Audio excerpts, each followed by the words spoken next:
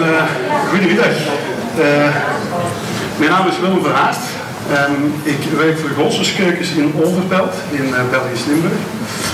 bedankt voor hier allemaal te zijn vandaag. Ik heb de eer om hier de werkmethode van Golsenskeukens een keer uit te leggen. Ik ga jullie niet te veel vervelen met details over wat ons bedrijf juist doet. Ik ga je heel even snel vertellen. Um, we bestaan ongeveer een twintigtal jaar en we doen alle mogelijke keukeninbouwen. We doen dressings, we doen badkamers, totaalinrichtingen en dergelijke. En je hebt misschien al uh, bij het binnenkomen en op het wachten, misschien al een paar van die renderingen gezien, zoals wij ze eigenlijk maken en aan de klant wordt um, aangegeven. Nu, uh, een paar dingen die ik al ga vertellen. Eerst één vraagje. Uh, ik heb dat dinsdag gemerkt bij de gebruikersdagen in Mechelen. Als u vragen heeft, u mag mij daarmee bestoken tot en met, maar wacht even tot na die drie kwartier, want die drie kwartier heb ik echt wel nodig om de werkmethode even uit te leggen. Uh, dinsdag ben ik niet toegekomen aan de werkplaats bijvoorbeeld, misschien raak je daar vandaag ook nog niet. Het is eigenlijk om u een idee te geven van hoe dat je Vectorworks kunt manipuleren. Want dat hebben wij uiteindelijk gedaan. Wat is er als u Vectorworks koopt en u wilt dat interieur meetekenen? In dit geval, in ons geval is dat dan totaalprojecten en keukens. Ja, je krijgt natuurlijk een onwaarschijnlijk knap katpakket, waarin je al alle mogelijke renderingen kunt doen met Renderworks. Dit is allemaal Renderworks, er is ook geen Cinema 4D bij komen kijken of zo. En, en, daarnaast hebben wij ook de module InteriorCAD, zijn de kast op maand module. Nu, het goede daaraan is, het moment dat je die samenbrengt, die twee modules, dan kan je die zelf ook gaan manipuleren door datalijsten en dergelijke in te voeren. Klinkt allemaal heel erg technisch, maar waar komt dat eigenlijk op neer? Is dat we eigenlijk een grote lijsten hebben gemaakt van afwerkingen van kasten, van werkbladen, van um, bijvoorbeeld doorgeschuurd, een papegaaienbek, um, laminaten en melamines, eiken die gelakt zijn, MDF met nerven enzovoort. Ook voor de specifieke ralkleuren die wij effectief in de lakkerij gebruiken. U zal al die lijsten ook wel even te zien krijgen, maar ons paradepaardje is eigenlijk onze bibliotheek. Nu, dat is iets wat eigenlijk heel gevoelig ligt. In heel veel bedrijven hebben wij zelf gemerkt, omdat we heel erg veel vragen krijgen om die bibliotheken te kunnen krijgen.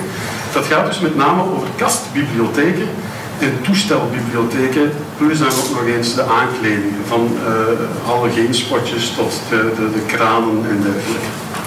Nu, nog een laatste ding voordat ik, dat ik alles laat zien hoe dat het allemaal werkt. Moet ik je ook bij vertellen dat al hetgeen wat u ziet, daar zit ook data achter. Met andere woorden, u sleept een kast in, al manipuleert u die kast, die kast komt met een code op een Excel-sheet te staan.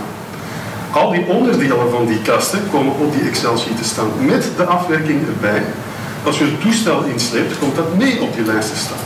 Al die dingen worden gegenereerd en dan binnen ons eigen CRM-pakket, uiteindelijk iedereen die een CRM-pakket heeft of een klantenbestand, programma of iets dergelijks. Je kan met Excel eigenlijk als database kan je nieuwe informatie genereren. Bij ons zijn dat dan de bestellingen, de offertes, uh, opmerkingen voor de plaatsers enzovoort. Ja. Nu, ik ga even die uh, slideshow onderbreken en dan ga ik je laten beginnen zien hoe dat wij eigenlijk te werk gaan. Um, allereerst ga ik beginnen met u even een paar datalijsten te laten zien. Nu, geen vrees, uh, ik ga u niet te lang meer lastigvallen. Eén keer als u dat gezien heeft, u heeft allemaal wel eens een Excel-sheet of een tekstfile gezien. Maar ik wil u toch even tonen wat dat wij eigenlijk hebben gemanipuleerd. Kwestie van tekstfiles in de achtergrond. Bijvoorbeeld de materialen. Als wij de materialen hebben aangepast, is dat eigenlijk een heel erg grote lijst geworden. Als je die lijst gewoon zou openen, dan zie je die in een klapblok en dan zie je eigenlijk niks anders dan dit. Nu, ben je natuurlijk niet veel mee als je dat zo duizenden en tienduizenden, dat is, je zou dat eigenlijk kunnen noemen tienduizenden lijnen van code, dat is programmatiewerk. Uiteindelijk, dit maak je gewoon in een Excel, je zegt dat materiaal heb je nodig met die diktes enzovoort enzovoort. Je bent een eigen database aan het creëren en dan zal je zo meteen zien dat je dat in het programma dus kunt gebruiken. Je tekent bijvoorbeeld een plaat en je kunt dan zeggen tegen Vectorworks, wat voor materiaal is dat? Je selecteert dat ook meteen op de juiste dikte, komt het ook zo op de lijst. Nu, als wij beginnen te tekenen en dergelijke, dan um, gaan we natuurlijk in de Vectorworks kijken. En dan gaan we een nieuwe tekening openen.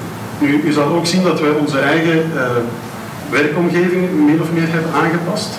U ziet u nu eigenlijk al die menuknoppen, of de commando-knoppen, die ziet u eigenlijk van Vectorworks. En dan ziet u hier nog drie knoppen bij komen. Nogmaals, ik ga je niet de werkmethode van Vectorworks in C uitleggen. Misschien zou Vectorworks het zelf anders propageren in een handleiding. Dit is de Goossens werkmethode. Je moet dus weten dat onze verkopers, dat zijn geen interieurarchitecten, dat zijn ook geen techneuten, dat zijn al zeker geen kattekenaars. Maar die krijgen enkel en alleen die drie grote knoppen te zien met Goossens ervoor. Waarom? Omdat we het zo simpel mogelijk moesten houden. Met andere woorden, onder die knop Gosses algemeen zal je heel veel commando's terugvinden die ook onder andere knoppen zitten, maar die wij een beetje gegroepeerd hebben, omdat dat het enige is wat onze verkoper nodig heeft. Hetzelfde voor tekencommando's, je ziet zowel 2D als 3D in elkaar vermengd, omdat ze telkens op dezelfde stramine moeten werken. En bij project en kasten zie je hier ook eigenlijk al een aantal gegevens die wij nodig hebben voor de kasten te manipuleren. Bijvoorbeeld door de fronten aan te passen, materialen toe te kennen enzovoort. Nu, een eerste zaak, ehm, als wij beginnen te tekenen, is dat we het klantenbeheer opstarten. We maken een nieuwe klant aan. En automatisch zal dan in dit veld bij projectgegevens wordt dan automatisch alles ingevuld. Nu, ik heb hier niet de server van ons bedrijf bij, dus ik kan de CRM natuurlijk niet laten zien. Maar maken wij een nieuwe klant aan, dan wordt dit allemaal automatisch ingevuld. Dat komt ook mee op de Excel-sheet achteraf. Ja? Goed, als wij een nieuwe bestand openen,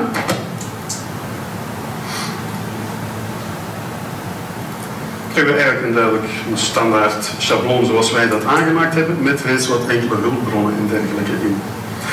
Nu wil even laten zien wat die lijsten en zo doen. Stel je voor dat je nog niet met een bibliotheek hebt en je wil wel platen en dergelijke op een lijst krijgen. Ik ga je heel even laten zien hoe dat onze Material Manager werkt. Het klinkt misschien allemaal heel erg theoretisch, maar als ik u zo meteen de kasten laat zien, dan valt alles op zijn plaats. Ik ga bijvoorbeeld gewoon een heel eenvoudige rechthoek tekenen. Dat wil zeggen dat ik die een, eh, een meter op 80 maak. Wij tekenen in millimeters in. Ik extrudeer die ook. Dus gewoon omhoog trekken. Dat wil zeggen dat ik die 18 dik maak. Wat dat wij ook tekenen in Vectorworks bij Grossus, moeten wij op een lijst krijgen, behalve als het is voor de show. Met de show bedoel ik uh, een handdoek, een tas koffie, uh, de verlichtingspot in het plafond die wij niet leveren enzovoort. Alle andere dingen moet je data toekennen. Nu hebben wij in de bibliotheek al die data al toegekend, maar je kan het ook manueel doen. En hoe doe je dat? In dit geval, die plaat, zie je hier trouwens ook nog eens de afmetingen ervan, kan je nu bij de artikelnummers, wat eigenlijk de materialen zijn, kan je gewoon gaan selecteren welk materiaal dat die plaat moet zijn. Nu zie je hier eigenlijk in een, uh, ik gebruik precies heel veel eigenlijk, dat is omdat ik eigenlijk best nerveus ben.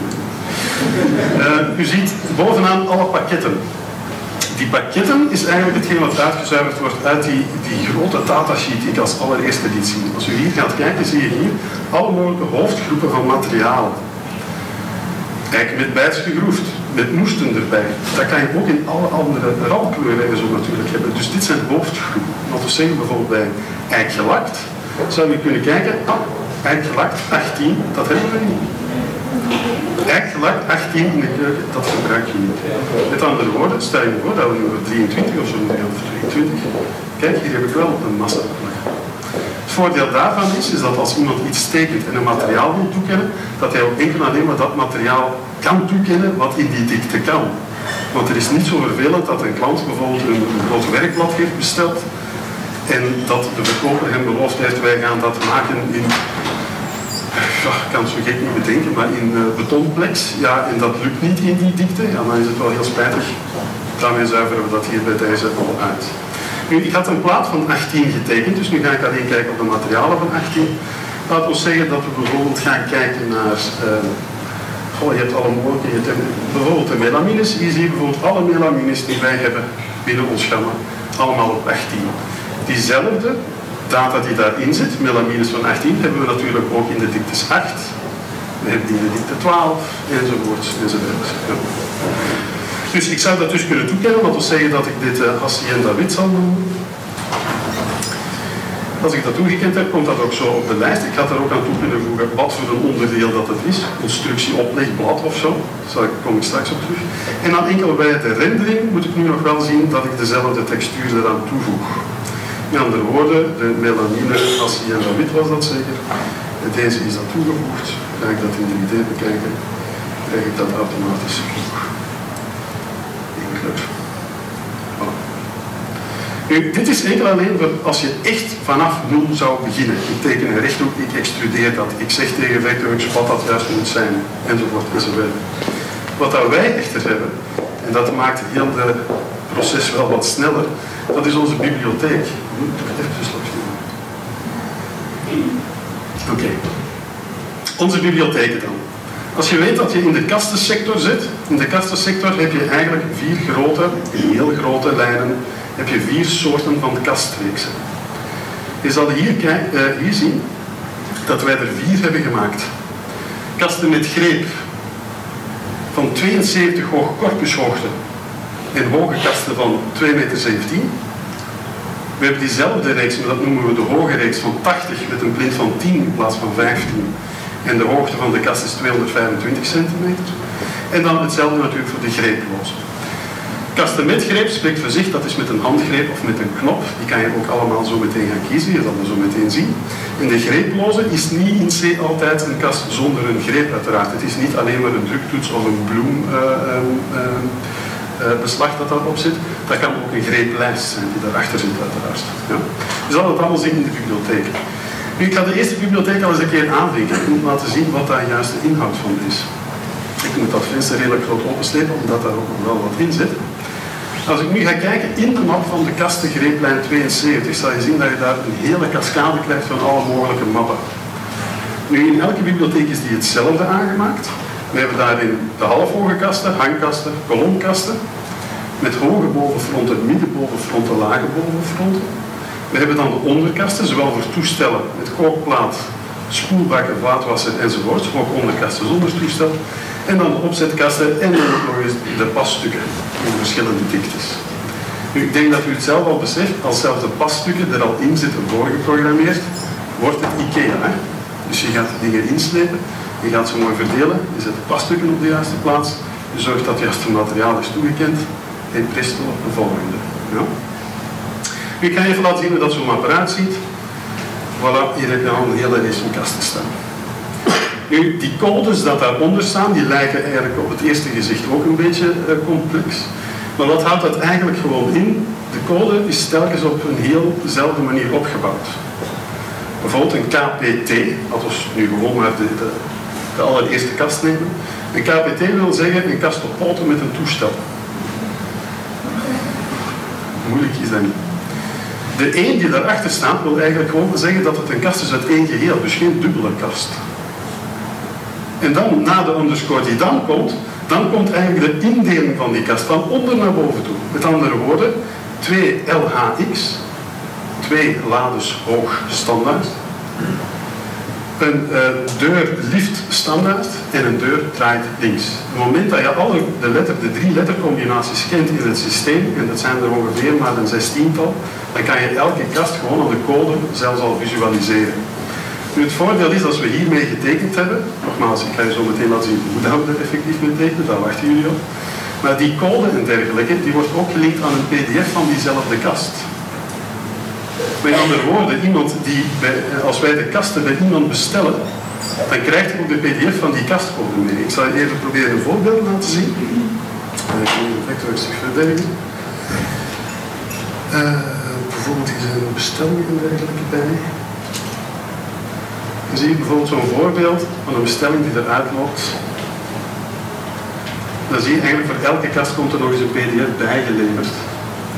Waar dan ook eens beschreven staat wat die kast juist is. Die leverancier die krijgt dat gewoon meegeleverd. Die mag zelf beslissen of dat hij dat wil opslaan, of dat hij op voorhand al onze pdf's wil hebben, of enkel en alleen per pdf wil gaan werken om een kast te gaan construeren. Nu, als we terug naar Vectorworks gaan, en ik zie die kasten hier staan. Het is eigenlijk heel erg eenvoudig wat die kozen betreft, heb ik net verteld. Maar je kan daar ook nog eens uit afleiden of dat er interne lades bijvoorbeeld in zitten en hoe hoog dat de nishoogtes zijn. Nishoogtes zijn er momenteel zijn er, de standaarden zijn er drie. 388, 45, 8 en 59, 5. Het zijn een grote oven, combi-oven, microgolfoven. Met de microgolfoven gaan er langzaam uit, want dan worden ze wat allemaal combi-ovens. Nu goed, ik ga eens beginnen tekenen eigenlijk. Daar komen we tot neer. Dat we nu zien. Ik ga geen volledige keekkeuken uittekenen. Ik zal er wel een goede start aan geven. Ik zal je nadien laten zien hoe dat een kant-en-klaar getekende keuken er in de raadstructuur en dergelijke uitziet. Hoe je er dan door kunt vliegen. Misschien kan ik al op voorbaat uh, al een uh, eentje laten zien. Heb ik bijvoorbeeld zo'n eentje. Dit is een kastkeuken die volledig is ingesnipt geweest. Je ziet dat zijn allemaal aparte elementen. Al de zaken die niet nodig zijn voor een constructietekening, en ik zal u zelfs laten zien dat de productietekening eruit ziet, ja, dan heb je die pan bijvoorbeeld ook allemaal niet nodig. Die zitten dan ook in de juiste klasse. Als ik een klasse zou afzetten in zo'n tekening, zijn de aankleding, die we toch niet verkopen, dan zie je dat alle onnodige dingen verdwijnen. Nu, als ik een zicht neem dat ik hier opgeslagen heb in een tekenzone, want wij slaan steeds tekenzones op, wat wil dat zeggen? We nemen een perspectief, een 3D-aanzicht, en dan slaan we die zone op, zodat de klant ook telkens opnieuw diezelfde render kan krijgen. Ik zal er hier eens laten zien, het is een startbeeld. Ik zal er even op een GL zetten. En kijk, hier hebben wij keuken. Zo'n keuken dat neemt gemiddeld een uur, maximaal een uur en een half in beslag om te tekenen, als je er weg overweg kunt. Ik zal het laten zien, ik kan ook effectief doorwandelen. Dit zijn allemaal kasten die ingesleept zijn vanuit de bibliotheek en enkel en alleen de foto's maar aangepast. Ik kan bijvoorbeeld zo eentje aanklikken. Je zal zien, hier zit zo'n kastje in, die ligt natuurlijk ook op. En dat kastelement kan ik hier ook gebruiken. Ik kan in die kasten kan ik ook alle mogelijke indelingen laten zien. Dat zal ik zo meteen laten zien aan de hand van de bibliotheek zelf. Ook hier kan je materialen toevoegen. Maar daar zal ik zo meteen aan de nieuwe tekening laten zien. Ik ga naar een nieuwe tekening en ik ga eens beginnen met allereerst eens een vloerplaat te tekenen. Ik ga me nu niet bezig gaan met alle muren en dergelijke uit te zetten. Daar zijn jullie niet voor gekomen. Het gaat nu over het interieur. Muur en dergelijke architectuurgereedschappen kan je uiteraard hiermee combineren. Muren met ramen in te slepen of je tekent blokjes en je snijdt de raamopeningen eruit. Dan mag je zelf kiezen. Ik ga al sinds al eens een vloerplaat maken dat ik tenminste die kan gebruiken om de kasten op te zetten. Nu, uh, zelfs voor deze zaken, ik ga nu wel een beetje groter maken, best. 5 meter of 5 meter pakweg. Nu, ook voor de aankleding van muren en vloeren en dergelijke zijn we voorzien. Want onze texturen zijn natuurlijk ook meegevolgd met de bibliotheek die we opgebouwd hebben. Dan heb je bijvoorbeeld bij de rendering, tab, heb je nu voor vloeren, de V van vloer. Alsjeblieft, toon op dat is al klaar. Ik ga nu naar het tweede planzicht. En ik ga mijn bibliotheek aanleggen. Het is hier een beetje wringen, want ik heb geen extra scherm hier staan. Wij werken eigenlijk bij ons dus ook met twee tot drie schermen tegelijk, waarin dat de bibliotheek natuurlijk niet groter opstaan. Nu, laat ons zeggen dat ik zal beginnen met een aantal onderkasten. Ga beginnen met onderkasten zonder toestel. De meest eenvoudige die er is, als ik nog eens die code zou moeten uitleggen, deze kast bijvoorbeeld is een kast op poten standaard, het één gedeelte met een deur draait links. Ik sleep die gewoon simpelweg in. Dat is dat kast. Die kastcode komt daarbij op. Die nummering kan je achteraf hernummeren, zodat je telkens begint vanaf 0, 1, 2, 3, 4, 5, 6, 7, 8 enzovoorts. En deze kast is nu het meest eenvoudige dat ik je kan voorschotten. Je hebt ook heel erg complexe kasten, zelfs daar waar dat de Le Mans systemen en dergelijke in zitten. Ik zal er zo meteen nog wat extra inslepen. Maar gewoon omdat je zou weten dat zo'n kast reageert. Voor degenen die al met interiorkat werken trouwens, en vooraleer dat een vraag komt, dit is een kastelement 2014. Waarom? Omdat in de versie 2016 heb je een nieuwe kastenconfigurator die anders moet opbouwen. Uh, het is te zeggen, wij zijn eigenlijk al onze kasten, dat zijn er ongeveer tegen de 4000 aan, zijn we één voor één terug aan het opbouwen in de nieuwe kastenconfigurator. Slavenwerk, ja. Maar u moet ook beseffen dat hetgeen wat er financieel tegenover staat achteraf enorm veel bespaart. Als een verkoper één keuken per dag met de hand perspectieflijnen overal gaat uitzetten, dan met de hand dat volledig gaat uittellen enzovoort enzovoort. Ik denk dat voor zich spreekt, tien verkopers, één week, 30 keukens minder. Oké, deze kast hier nu. Als ik die ga renderen, hoe ziet dat eruit? Ja, goh, misschien een wet, hè. Wit op wit. Nu gaan we dus materialen toekennen. Als ik materialen wil toekennen, dan ga ik gewoon de knop aanvinken, waardoor ik eigenlijk terug naar die database met die lijst kom. Moest ik deze kast geëxporteerd hebben, zou er gewoon op te staan nog materialen toe te kennen. Er klopt iets nog niet. Maar natuurlijk hebben we dat ook samengevat in favorieten. Dat je niet elk onderdeel van de kast moet gaan een materiaal toekennen. We hebben hier bijvoorbeeld al de melamines in staan. Waardoor dat je de corpus, die bij ons altijd melamine is, dat je de corpus en het front meteen in de juiste melamine zet. Achteraf kan je dan zeggen dat front dat moet nu dikker zijn en dan ga ik een frame op plakken, bijvoorbeeld. Ik zal hier beginnen, uh, geef nu simpelweg het uitvoergrij. Voilà, klik op oké en dat is het uitvoergrij. Die kast kan je natuurlijk langs alle kanten bekijken. De kasten zijn ook zo opgebouwd dat de achterwand ook altijd op de juiste afstand van de muur en dergelijke zit. Nu, deze kast, enkel alleen om even tonen, als ik nu een andere front wil hebben of een ander, uh, andere greep bijvoorbeeld, kijk naar andere fronten, ik pas de handgreep daarvoor aan en die handgrepen die hierin zitten zijn al de handgrepen die wij in onze showroom hebben staan. Nu, dat zijn er natuurlijk nogal wat. Die zijn trouwens ook één voor één allemaal uitgetekend. Die zitten ook allemaal natuurlijk in elk schabloon van elke tekening die geopend wordt. Ik ga nu even nog verder doorscrollen dat je ook de knoppen en dergelijke ziet. Dat is voornamelijk duwbeslag en dergelijke wat erop zit. Ik ga nu gewoon een greepje nemen, maakt niet uit welke eigenlijk. Ik klik op oké, ik zeg pas aan en die greep wordt hier aangepast. U ziet dat. Met andere woorden, wij hebben nu eigenlijk een kast in turtle grey met een handgreep op op stelpoten van 15 hoog. Zou ik dit al exporteren, krijg ik één kast met alle onderdelen van die kast met het materiaal erbij. Ik zal zo meteen laten zien, maar we gaan wat meer kasten naast elkaar zetten, zodat u een beetje variatie kunt zien. Wil ik het front aanpassen van die kast, kan dat ook allemaal natuurlijk. Ik ga opnieuw naar andere fronten. Nu ga ik een frame selecteren. Nu, een frame selecteren, als u uh, Vectorworks met Interior de eerste keer opstart, dan zitten daar een aantal frames in. Maar natuurlijk, elk bedrijf heeft zijn leveranciers of zijn eigen schrijnwerkerij. Je hebt je eigen profielen waar je mee werkt. We gaan dan de frames selecteren, maar die frames zijn bij ons op voorhand aangemaakt. Met andere woorden, we kunnen gaan selecteren uit een lijst. En hier zie je eigenlijk allemaal nummertjes staan. Dat zijn allemaal frontcombinaties. Dat zegt u natuurlijk niks. Maar als we gaan kijken naar hoe dat, uh, hoe dat wij dat op de bestelling ook aanleveren aan de leverancier natuurlijk, dan, krijgt hij ook deze mee, automatisch in de bestelling. Ja? Met andere woorden, eigenlijk misschien um, weet u ook dat de meeste um, keukenfabrikanten en dergelijke hebben meestal vaste leveranciers. Bij ons is dat Kempa. En Kempa heeft al zijn fronten aan ons geleverd. We hebben die allemaal nog eens nagemeten, allemaal nog eens nagezien. Eén voor één allemaal ingetekend. Dit zijn eigenlijk Kempa-fronten, maar bij Kempa zal dat bijvoorbeeld heten NIS of SPA of wat dan ook. Wij geven daar een code aan, zodat we dat telkens ook in alle bestellingen verder kunnen verwerken. Moest er ooit een nieuwe leverancier komen, dan krijgt hij gewoon die, die pdf en ik kan dat ook weer namaken. De 1007 ziet er dus bij wijze van spreken zo uit. Ik ga die nu ook toekennen in de tekening. Dus 1007. Oké, hoe moeten de stijlen doorlopen, kan je ook nog bepalen verticaal, horizontaal of in één stuk doorlopend. Klik op oké, dit was aan en u zal zien dat er hier nu een frame op komt. Ja. Op die manier weet het. Die greep kan je natuurlijk terug in een knop veranderen. Je kan natuurlijk ook de positie gaan veranderen, want ik denk dat de positie van die greep op dit moment nu niet ideaal is. Je kan daar gewoon in die kast gaan. Dat is dan iets dat je wel individueel per kast doet bij het front kijken.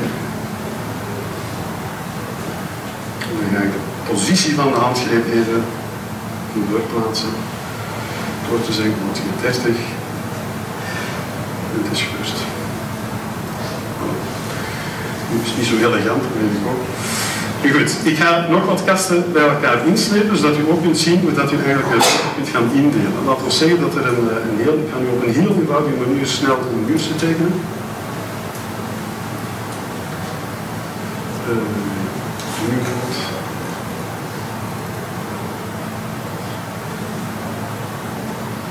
Meestal zegt de klant dat hun ruimte 2,50 meter is. Dan komen we te plaatsen, is het meestal maar 2,41 meter of zo. Dus Ik ga daar nog even de rendering hetzelfde doen. Dus de muren hebben we onze eigen materiaal toegevoegd. Nou, bezetting. Nu heb ik hier een boekje muur. Ik zou dat kunnen gaan aanwerken. Of ik zou nog misschien beter kunnen doen. Ik ga die even spelen, elkaar toevoegen. Dan heb ik een hoekje en dat kan ik gaan opvullen met kasten. Zodat dat eigenlijk ook mooi wordt uitgewerkt. Want, wat is het... Uh, tegenwoordig, het, het, ding in de reclame wordt heel vaak gezegd, wij leveren maatwerk. wij gaan eens echt maatwerk aanleveren. Je gaat er al die kasten zien en we gaan daar zo'n jukkel van een pas laten rondbouwen. Dat is dan maatwerk, ja, past erin, dat is waar. Maar dat is geen maatwerk. Maatwerk wil zeggen dat je van de ene muur naar de andere het mooi verdeelt over de kasten en links en rechts een klein paslatje hebt op de breedte, dus op de, de dikte. En dat je daar nog een heel klein spatietje tussen houdt, zodat moest de muur een beetje krom zijn, dat je die nog iets kunt opkitten. Dat is wat ik zo meteen moet vertellen. Laten we zeggen dat ik hier aan die linkerzijde bovenaan, dat ik hier eh, twee kolomkasten ga plaatsen, rechts ook een, de rest ga ik opvullen met onderkasten en kan de passtukken en de zijschotten er allemaal meteen bij steken. Goed, uh, ik ga dus beginnen met kolomkasten, liefst dan met toestel, zodat ik u zo meteen de toestel ook kan laten zien. Uh, kolomkast met toestel midden, laat ons zeggen dat ik hier eentje neem met vier interne lades uh, en een 4, 5, 8. Dat is al eentje. Nu, daarnaast komt dan een ander toestel van dezelfde hoogtemaat. Laten we zeggen dat we in de linkerhoek ook de deurtjes allemaal links willen laten draaien. Dan kan ik deze kast eigenlijk gewoon dupliceren en daar tegen zetten. De eerste twee kolomkasten staan er al. Die kolomkasten kunnen niet wijzigen van breedte. Het is te zeggen, je kan dat wel doen, maar dan heb je een gat naast je toestel. Dus kolomkasten met toestellen, die blijven uiteraard 60.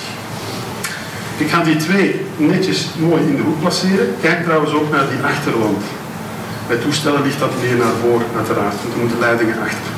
Als je een koeling hebt bijvoorbeeld, moet dat ook kunnen ademen. Ja. Ik ga die nu even in de hoek placeren.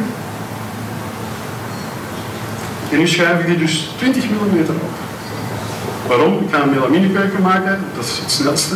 Ik maak een melaminekeuken, ik zet die 20 mm uit de hoek, omdat er dan een plaat van 18 mooi tussen past en dan nog 2 mm speling dat. Voilà. Een kolomkasten staan aan die kant. Dat wil zeggen dat ik aan de andere kant een kolomkast met een koeling in moet hebben. Dan ga ik kijken. Uh, bijvoorbeeld hier heb één, dan wil ik wel een rechtsdraaiende deur uiteraard. Even kijken hoe je eruit moet zien. In verschillende types, laten we zeggen deze, met nog een deurtje erboven. Je ziet, er zit ook een klein beetje spelingen voor de verluchting. Ik zet deze hier tegen en ik haal die terug 20 uit de hoek. Wat ik nu moet doen, is eigenlijk dat stukje hier tussen gaan verdelen met onderkasten. Voor de spoelbak, voor de kookplaat, eventueel nog eentje met. Het zal een klein keukentje worden. Uh, maar natuurlijk moet ik daar wel eerst afwerken, die kolomkasten, want aan de linker en de rechterzijkant moet dan wel een zijschot komen. Als je dat nu manueel moet gaan tekenen, een vierkantje, en je gaat dat extruderen, en je gaat dan nog eens een materiaal moeten gaan toekennen, dat is te veel werk. Dus wat hebben we dan gedaan? We hebben gewoon in diezelfde bibliotheken ook de passtukken bijgezet. Hier zijn bijvoorbeeld passtukken 18 mm. Laat ons zeggen dat ik nu eerst een zijschot ga kiezen voor een kolomkast. Dat is de deze. Ik ga die nu bewust even naast zetten. Dat als ik in het vooraanzicht ga staan, dat u ziet dat die hoogte meteen meegeprogrammeerd is. Dat is een zijschot voor een uh. Hier zet ik nu dan tegen. Nu ga ik hetzelfde doen naar de andere kant natuurlijk.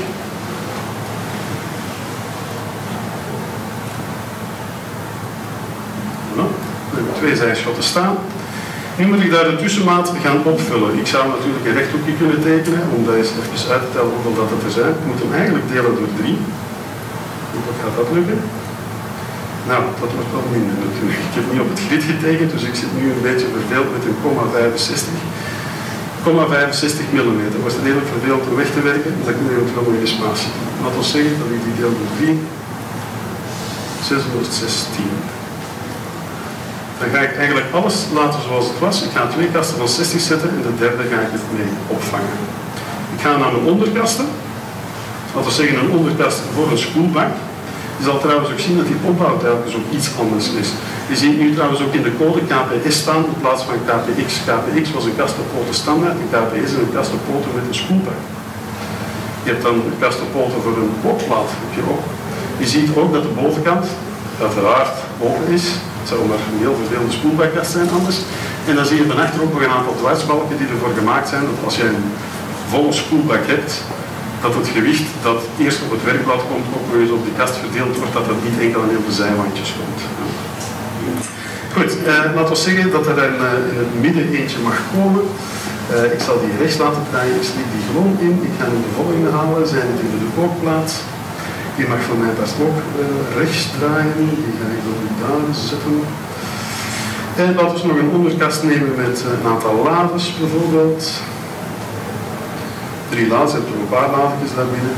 Voilà. Ik kan die eigenlijk allemaal juist gaan positioneren. Die uh, spoelbakkast en dergelijke ga ik naast elkaar zetten. Even nu gerief doet, het is niet de meest geriefelijke keuken denk ik, maar het is het idee dat dat is. Laten zien, dat even netjes zetten. Deze maat hier zou ik dus eigenlijk moeten opvullen. Ik ga die maat geven aan die kast. Ik weet dat het nu niet erg orthodox is, maar het kan in principe. Ja. Breedte. Doe, dat gaat passen. Weet, het is niet elegant, excuus. Dat eigenlijk niet moeten inschuiven, is wat. Goed, nu staan nu al mijn kasten op een rij. Hoe, zien die er nu eigenlijk uit? Ik heb daar twee zijschotten tussen zitten. Ik moet nu alleen rechts en links nog een paslatje zetten van 15 centimeter diep, zodat die, die mist daarin eigenlijk een beetje weggewerkt wordt. Dat we nu meteen. Dus terug passtukken van 18 mm. Je ziet hier trouwens tussen ook ombouwen en dergelijke staan. Dat is als je bijvoorbeeld een, een grote muur hebt en je wilt daar een keuken tussen zetten en je wilt daar een mooie luifel rond in uh, MDF in grondlak uh, en dan met uh, spotjes erin, maar dat daar links en rechts nog vrij muur is, bij wijze van spreken. Dan kan je daar ook mee opbouwen, dekplaten enzovoort. Nu, eerst een paslatje. een paslatje voor de kolomkast van 18 mm, dat is deze.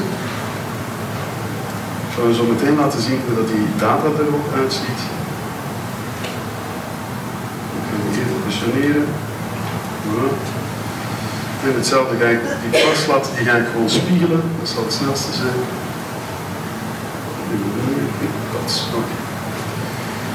Als ik nu in 3D ga kijken, heb ik dit staan. Ik ga die even op mijn geel zetten. Voilà. Je ziet nu eigenlijk alles wit, standaard greepjes en een paar rode panelen. Als ze bij ons een witte keuken zien met een standaardgreep op, dan weten ze al, dan gaat een alarmbelletje rinkelen van we moeten de materialen voor die kasten nog toekennen. En rood. De afgelopen vijf jaar hebben we één rode keuken verkocht. Maar in dit geval wil rood zeggen, je moet nog iets doen. Het is nog niet gebeurd. Hetzelfde zoals bijvoorbeeld met uh, uh, frames op een ladekast. We hebben nu drie lades. Als de bovenste lade te klein is voor een frame, zal het paneel rood worden om aan te tonen, oh, je kunt dat frame over deze lade niet doortrekken. Ja. Goed, uh, wat ontbreekt hier nog op is natuurlijk de timmering en plint. Ik ga dat er ook al even inhalen. Plint van 18 hoog, 15 hoog, 18 dik. En de betimmering zal ik ook meteen doen, dus zal ik meteen inhalen. Uh, ik zal eerst de betimmering juist zetten. Die ga ik gewoon heel eenvoudig op de hoek van dat zijschot zetten. Ik ga die 5 omhoog en 5 terug. Die staat al niet juist. Die kan ik hier langs de nevenkant terug verleggen uiteraard. Op een laptopje. Ik dupliceer hem en ik roteer hem, ik zet hem daar tegen. Denk eraan, die uiteindes van die platen en dergelijke, die zijn eigenlijk ook al voorbestemd eh, qua uitvoering. Dus in de data staat erop dat die bijvoorbeeld links en rechts ook zijn afgeplakt. Je kan dat per onderdeel ook allemaal gaan wijzigen wat de afwerking is, in verstek of niet enzovoort. Je moet geen verstekken tekenen. Dat is eigenlijk een beetje verloren moeite. Je trekt, het zijn eigenlijk, die, die stukken worden door elkaar getekend, zodat je eigenlijk genoeg hebt om af te zagen om het in verstek te kunnen doen. Dus met andere woorden, als je plaats hebt links en rechts verstek, met ons CRM-pakket aan, het telt er 2 centimeter bij, dat ze kunnen afzagen. Dat is een interne organisatie. Nu heb ik hier nog uh, dat stukje betimmering dat ik moet uh, verder trekken. Ik moet misschien al beginnen haasten. Ach, stress. Weet de kom. 18 minuten. Ik hoop dat u mij allemaal verstaat trouwens, want ik ben in Nederland. Hè. Ik ben nu straks buiten gezegd, en zegt van wat was? Goed. Uh, ik heb hier dus die twee betimmeringsstukken. Ik ga die natuurlijk gewoon kopiëren aan de andere kant. Ik kan die uh, horizontaal spiegelen. Je ziet ook dat in die werkomgeving, dat wij daar gewoon zijn met die drie knoppen te werken, dat wij niet meer naar die andere menuknoppen gaan. De ene vindt dat geweldig, de andere vindt dat verschrikkelijk. Je zegt dat je eigenlijk moet roeien met de vrienden die je gekregen hebt. Wij manipuleren ze graag een beetje. Voilà. dit zou voor ons ook geen ramp zijn als die betimmering doorsteekt, dat zagen ze ter plaatse wel af, maar het is wel mooier als je dat een beetje laat binnenkomen. Ik hoop verstaat dat anders niet. Voilà. Nu alleen die plint nog placeren, en we zijn in principe rond wat kasten en dergelijke betreft, dan moet ik alleen de materiaal nog toekennen. Nu, voor die plint de juiste zetten hebben we een trucje gevonden. Uh, het is heel moeilijk om in 2D-zicht, er staan pootjes onder. In het begin hadden we vaak het probleem, we zetten de plint eronder, maar dan kwam zo een helft van de, de pot erdoor. Dus je wist nooit goed hoe ver ben ik nu naar achter of hoe ver moet ik nu naar voren. Dan hebben we zelf gewoon beslist, kijk hoe ver zit onze plint altijd terug? 7. Oké. Dan zetten wij onze potjes 7 terug en zetten we er gewoon tegen. Met andere woorden, in het bovenaanzicht zien we onze potjes staan. Het is heel eenvoudig. Ik weet niet of dat u het beseft, maar ik heb eigenlijk ondertussen al, weliswaar een heel erg eenvoudige, maar ik heb toch al bijna een keuken uitgetekend, puur in 2D-planzicht. Dat, dat, is eigenlijk de snelheid die wij winnen. Ja? Ik moet even die verlengen, zodat het niet over de ganse breedte loopt.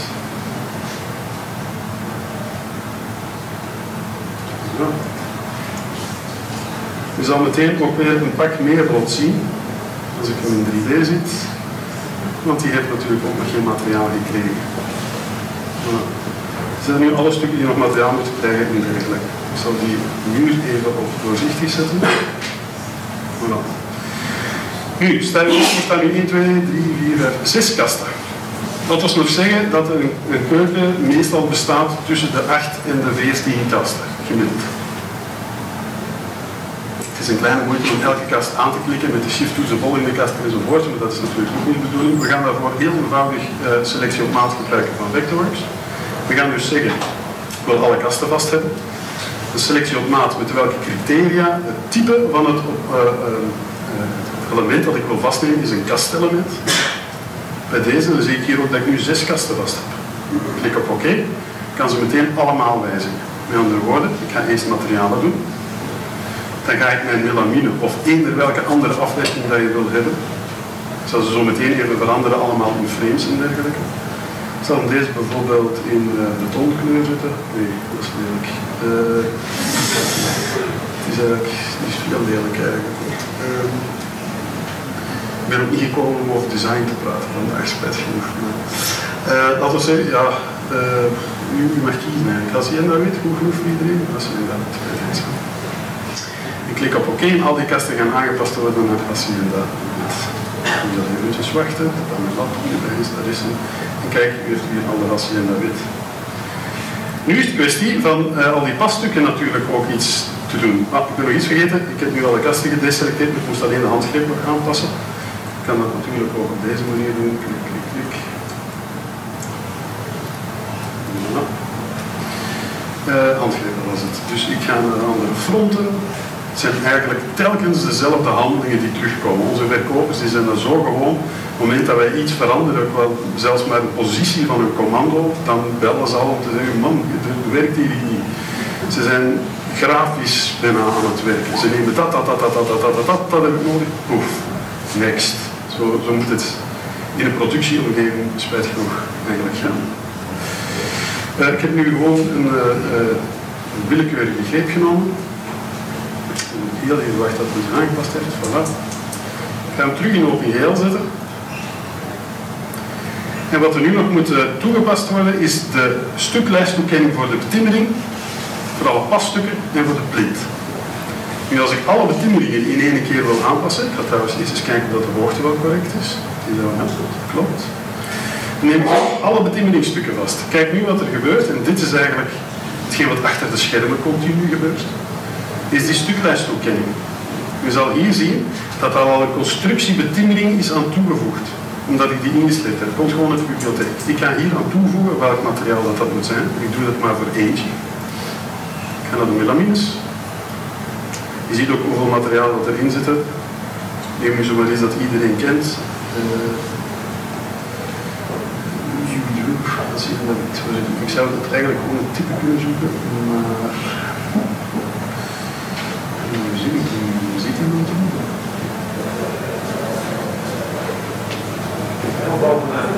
Oh, sorry, inderdaad. Ik heb er nu bij eentje toegevoegd. Dus ik weet dat het artikelnummer nu houdt Hacienda wit is. Daar staat ook een nummer achter, 2432. Daardoor weet ons bestellingsprogramma dat hij 2432 moet gaan bestellen.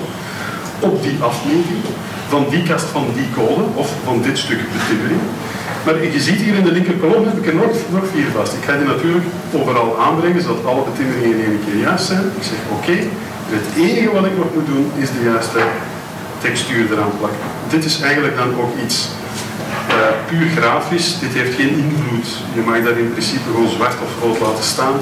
En dan heb je tenminste ook een mooi beeld. Hetzelfde ga ik doen met de blind. Ik heb nu in dit geval maar eentje. Je moet echt, echt, echt gaan opschieten, want ik moet de toestellen nog doen. Ik ga dit eigenlijk al even laten lopen, zodat je weet wat het resultaat is. Ik ga het even laten zien in OpenGL, dus die bedienung is klaar. Ik kan nu hetzelfde doen voor mijn zijschot, voor mijn passchot en voor mijn blind. Maar in dit geval, als ik nu alles selecteer en ik laat hem nu lopen, wij hebben daar in onze eigen werkomgeving een knop waar we er gewoon op drukken. Dan gaat hij een stuklijst creëren. Een volledige lijst, of alleen de platen, of alleen de kasten. Dat kan je ook. Ik ga nu een volledige lijst laten lopen. Je zegt oké, ik ga nu naar Excel. Ik moet het in Excel ook doen, want onze CRM hebben we niet. En kijk wat eruit komt. Dit is alle data die ik net getekend heb.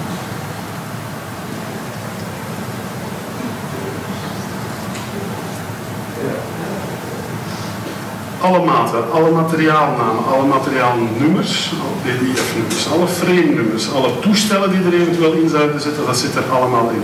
Het is een koud kunst om je eigen CRM-pakket te laten uitrekenen natuurlijk. Als je een datalijst hebt van dit zijn mijn toestellen en dergelijke, dat toestel met die code kost zoveel, die plaat en die formaat kost zoveel, een plaat hebt van een meter 80 hoog en een meter breed en die kost zoveel en je moet dan een plaat van een meter 70 verkopen, is dat heel snel uitgerekend ook met Google dat die plaat dan effectief kost. Je kan daar dan ook nog eens dingen bijvoegen. Dat doet ons CRM-pakket, het schuurpapier, uh, de uren zelf die worden bijgeteld van de werkuren enzovoort enzovoort. Maar dit is de basis waarop dat wij verstrekken. Hoe ziet zo'n bestellingspakket er dan bijvoorbeeld uit? Dat ga ik ook laten zien. Bijvoorbeeld, ik had het nu net over uh, toestellen. Hier is bijvoorbeeld van een keuken waar de Siemens toestellen besteld worden. Hetgeen wat je nu ziet komt rechtstreeks gewoon uit het Excel. Maar de leverancier weet meteen, dat is het, dat is het. Ik moet niet nergens nog gaan opschrijven of ik moet nog code gaan zoeken. Maar nu het volgende punt is, laten we zeggen dat die keuken klaar is getekend. Kwestie van, um, ik heb nog dat die keuken klaargetekend is uh, en dat uh, alle materialen zijn toegekend, dan ga je natuurlijk ook de toestellen gaan toekennen. Nu ga ik naar de toestellen gaan. We gaan daarvoor naar de gebruikersbibliotheek. Je zal zien dat bij ons redelijk uitgebreid. We hebben Miele, Siemens, Novi, Gaggenau, uh, Viking, Lacanche, al die merken en die doen we om de, zes maanden updaten we die ook. Bijvoorbeeld de laatste van Miele, die zijn van de week toegevoegd. Zo de nieuwe reeks van Miele. Hoe zien die er dan uit? Ik ga even laten zien. Dit zijn bijvoorbeeld de nieuwe murentoestellen. Het zijn er telkens ook wel wat. Er is iemand ook echt wel fulltime mee bezig tijdens een aantal weken. Dan zal ik je laten zien hoe je dat dan eigenlijk gewoon gaat placeren. Het is zo dat een leverancier die levert soms tekeningen aan van een oven, maar die zijn veel te complex. Wat bedoel ik daarmee? Daar zit elk feitje in, daar zit elke ventilator in, daar zitten de transistorjes in, daar zit ja, er zit een transistor in de dat weet ik eigenlijk niet, maar er zit een opbrul in dat je niet nodig hebt. Wat doen wij dan eigenlijk? We nemen gewoon de catalogus, we kijken naar de inbouwmaat, die tekenen als een rode blok. Er zit ook geen data achter. Het is gewoon een rode blok, zodat je in de kast kunt kijken, bij het doorkijken past hem er wel in. Ik het u zo meteen laten zien. En het frontje tekenen we wel fatsoenlijk uit. Dus met andere woorden, ik ga hier nu twee ovens nemen, op goed geluk. Uh, een RDS en laten we zeggen een, een uh, steamer. Hè? Voilà, u ziet hier nu die uh, verschijnen. Nu is het alleen maar kwestie om die op de juiste plek in de kast te zetten. Deze, uh, die, uh, deze oven die wil ik in die kast hebben. Wat doe ik dan meestal? Maar dat is ieder voor zich. Ik haal die even uit de tekening. Waarom? Omdat hij dan uit de kamer is. Ik ga langs rechts kijken zonder in naar buiten zoomen en ik kom meteen op die kast en dat toestel. Nu, in bovenaanzicht ga ik hem gewoon in het midden ervan zetten.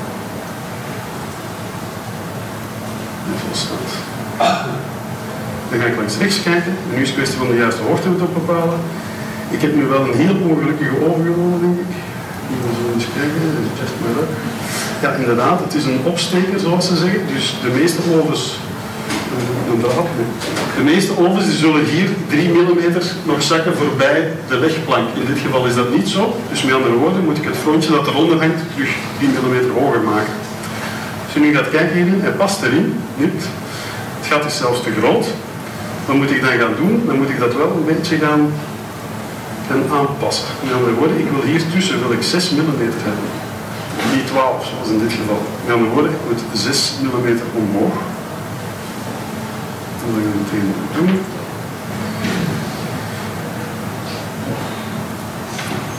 Dan ga ik naar de indeling kijken en dan zie je hier een hoop cijfertjes staan. Die cijfertjes, dat is eigenlijk de indeling. Je ziet de frontindeling. Schouw zo. Je hebt daaronder, dat wat de vierde derde laten zitten, dat is 1018. Dan heb je 3 mm speling, 47, 3 mm, dan een vrije hoogte dat ik kan aanpassen als ik mijn kast aanpas en nog eens 3 mm voor het front. Nu, ik weet niet wat ik nu doe, want dat zeggen min 6. Ik kan hier ook zelfs een berekeningen doen. Werkt dat? Als gezegd, ik denk dat ik over tijd ben. Je ziet, het frontje is naar beneden gekomen. En zo kan je eigenlijk al die kasten gaan manipuleren. Als ik daarmee klaar ben, dan zet ik hem gewoon terug. En leep presto.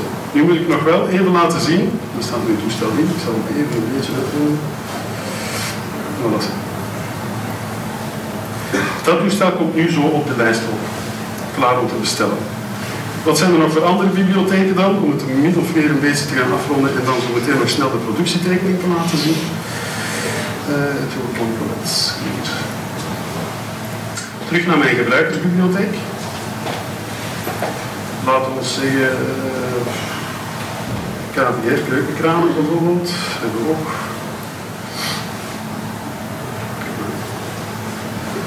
De grafische kaart.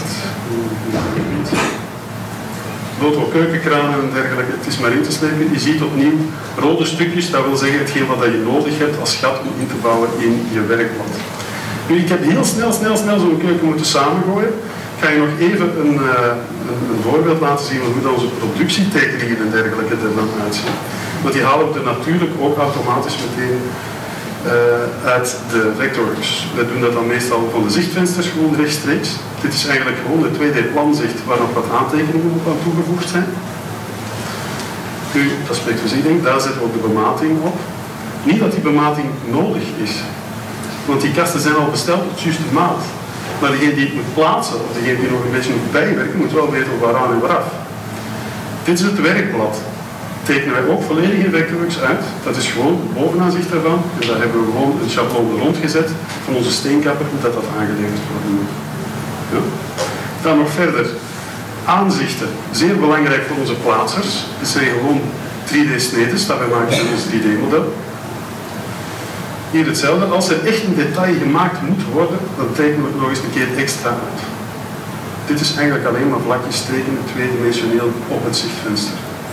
Volgende stuk, kijk, dit is eigenlijk de inwerkingen van die nieuwe, uh, ik ben eigenlijk de merk zelfs vergeten.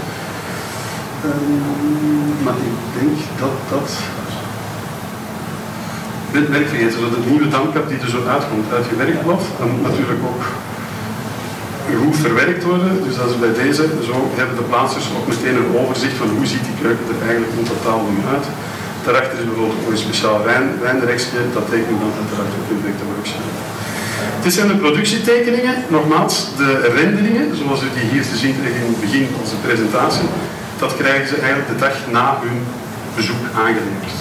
Ze krijgen de beelden van OpenGL, zoals ik net liet zien, met die zwarte lijntjes en dergelijke krijgen ze mee bij hun orkest. En een dag nadien kunnen ze oftewel inloggen op onze website, die ik ook meteen zal laten zien. Kunnen ze hier ook meteen op inloggen als ze dat willen. En dan kunnen ze daar hun foto's eigenlijk gaan bekijken. U mag altijd bij Goossens eens een keer gaan, gaan surfen. U mag ook eens op de blog gaan kijken wat daar eigenlijk allemaal op staat. Uh, ja, als je internet hebt tenminste. Uh, in alle gevallen, u mag daar altijd eens op gaan kijken. U mag ook op de Facebookpagina gaan kijken. Als u nog informatie wilt hebben in verband met hoe dat wij daar werken bij Goossens, mag je altijd naar Goossens bellen uiteraard. En nu vrees ik dat ik zal moeten ophouden. Dus met deze, als u nog vragen heeft, strikt me daar in de zaal. En ik sta met heel veel plezier. Dank u wel.